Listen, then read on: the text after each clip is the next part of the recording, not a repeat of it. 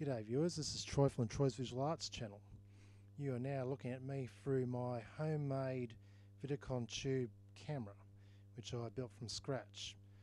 Finally got this baby working pretty pretty damn good after after fixing up many bugs with the circuitry caused by faulty components and some and putting the components in the wrong way, which I did with some of the transistors.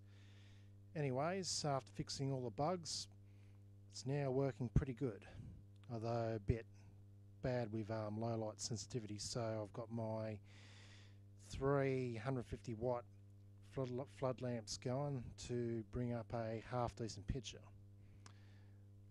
Focus, the focusing is not the best, so because as I open the iris further in the with the camera, it tends to um, make the picture a little bit more blurred. Don't know what the issue with that is, but I'll eventually get it sorted.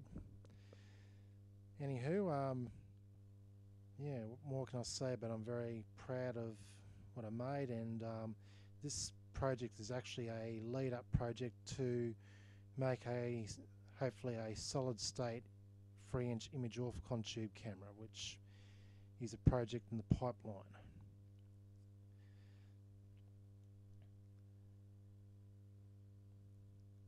Anyways, this is Troy, Troy from the Troy's Visual Arts channel signing out.